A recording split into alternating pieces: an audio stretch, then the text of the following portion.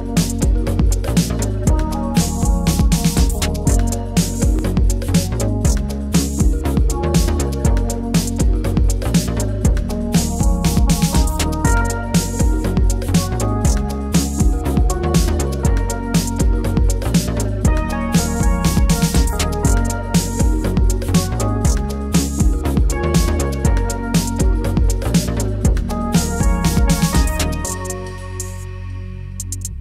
Great. Well, Belinda, again, thank you so much for taking some time this afternoon.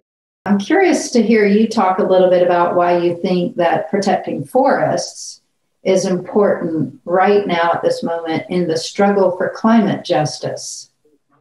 When we think about trees, Danna, it's a vital part of our lives. Mm. We can basically, when you look at it, not live without trees.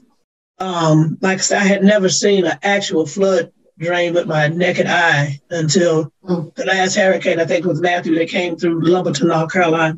Mm-hmm. And my brother, we were taking him to the cancer center in Lumberton and mm. driving down the highway going into Lumberton. And I see all these homes with all this furniture stacked up in the yards where the homes had been flooded out, you know. Right. Um, it was it was devastating. Um, people just don't understand the significance of having those trees and Mm. It's not about protecting our environment.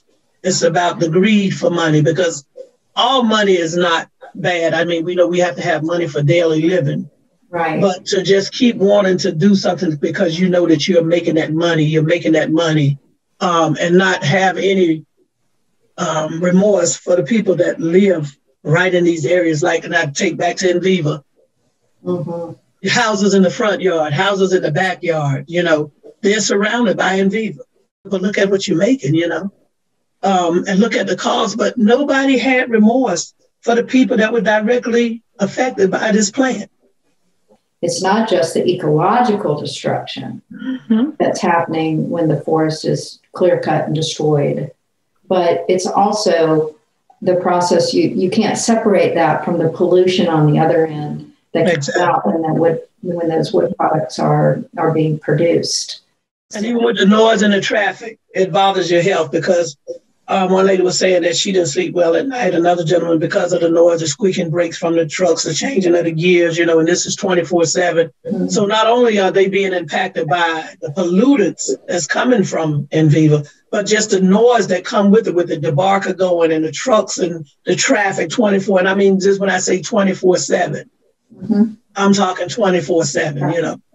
If they weren't able to do that, um, you wouldn't have the pollution, you know, that we have in these mm-hmm. communities. And so right. protecting the forests is as much about protecting the ecology and the land as it is about protecting the air and the exactly. community around it, surrounding mm-hmm. it. It's good for people to come together because we can learn from each other. I've learned a lot from Dogwood. You know, um, I remember us going down to Chesapeake, Virginia to have a public hearing, and then at the dock where the ships was going out, you know, um, that was a learning experience, and it was also exciting. Mm-hmm. You know, you hear about things, but when you can just look at them and see them for yourself, it, it, it gives you a better understanding of just what it, you know, what it is that's going on. Um, I, I think we're in a moment right now, Belinda, in terms of a movement of people that is similar to, you know, the civil rights movement. Mm-hmm. You know? And, you know, as Martin Luther King said, you know, the arc of the universe bends towards justice. Yes. Um, you know, and I think we're on that arc. And I think we're at a really important moment in time right now. Uh, do you see that we're in the right place at the right time right now to really um, advance climate and justice in a way that we haven't been before? You know, Danna, it's, it's amazing that you say that because I was saying those same identical words this morning. Mm-hmm. People coming together. It's not about one organization. Mm-hmm. It's about all of us because we're fighting for the same cause. If it's not water, it's wood, um, the environment. I mean, we cannot separate the environment. Mm-hmm. It, it is here. It's something that's here. And I was saying that as long as we keep coming together the way we are, and more people see what we're doing, it's a movement. And when we train them while they're young and they see what's going on, they will want to carry it on. Exactly. And just just last Wednesday was so it was just it was refreshing. It was inspiring to be able to go to the legislative building and, and speak and say what it was that we needed to say. And I think we got some attention because the gentleman that hosted it, I can't remember his name, the representative, he kept walking behind me. He said, My feet are on fire. My feet are on fire because you stepped all on my toes, you know. Um, and I said, You know, the truth is the truth. You know, we're your constituents when you're running. But once you get where you need to be, then it becomes the Duke Energies and the Dominion Powers and the Envivas and all these big conglomerates that have money. But you took an oath of office mm-hmm. to work for your people. And how many of you take the time to go out in the community after you get elected and talk to your constituents and see what the problems are in the community? If you did that, then you could better come back and represent us. Absolutely. Well, in this bigger movement for environmental justice and justice, what is the role that you see Dogwood playing? Dogwood has started a, can I say a revolution? Mm, you can. Yes. I love that word. you know, it's a revolution and it's, it's something that's getting stronger and stronger as time go on because people are really now realizing what it's all about to save our forests. You know, so you all started it. And now it has a stronghold where other people have grabbed on and said, okay, you know, we see what's happening now. We want to be a part of mm-hmm. We've learned so much from frontline communities that are on bearing the brunt of the impacts of this industrial logging and wood pellet industry. Um, and it's really been a partnership to tell the whole story right. of the impacts that this is having. Um, and I think that's just so powerful the storytelling that we've done mm-hmm. together. I tell other people, you don't know my story. Mm-hmm. I can tell my story better than you can. Just give me a chance to tell it. You know, and when I, I, I look around and I see we have a lot of senior citizens, and people say, Oh, why you go this place and why you go this place? I have to be a voice for my people. Mm. Because we do have senior citizens that had a voice, but they're not able to get out now like they did. It's awesome, like I say, to be able to, like you say, live something and then tell it. Mm-hmm. Yeah, storytelling is an awesome thing um, because if stories are not told, we would never know what's going on.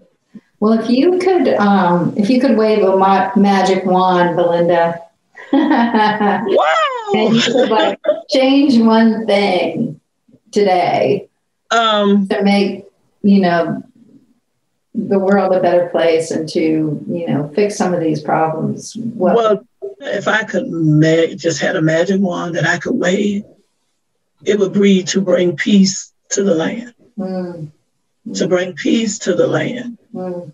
Um, it's so sad when we look around and see how divided mm.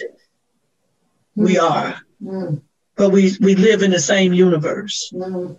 We breathe the same air. We bleed the same color blood. Mm-hmm.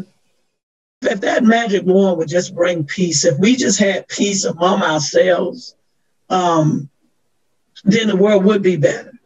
And you know we could be on the common ground where we could go and talk to these people about cutting down our trees and destroying our communities and all the other stuff that's going on that shouldn't be going on you know. Mm-hmm. um, it would be an awesome thing that people would be able to sit out on their porches and uh, enjoy the environment uh, without the noise without the you know not being able to cook out because of residue coming from from these plants that's that's destroying us um, that would be an awesome thing 25 years from now. If we could see our boys and girls, I worked in the school system for almost 40 years.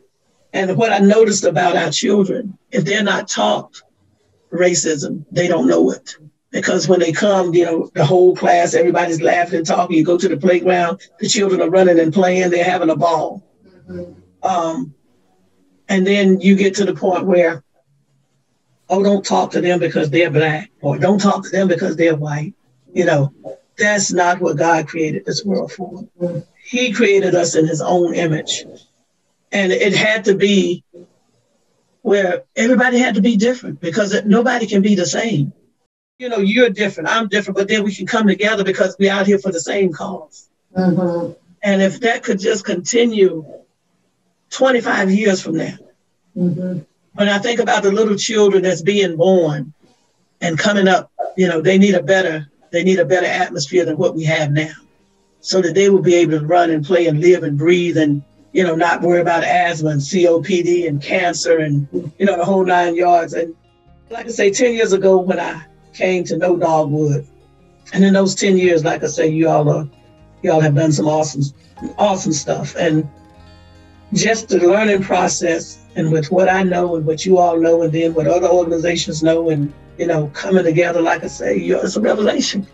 Yeah, um, it's, it's a revelation, and just I say now that we have the door open, Dan, we cannot stop.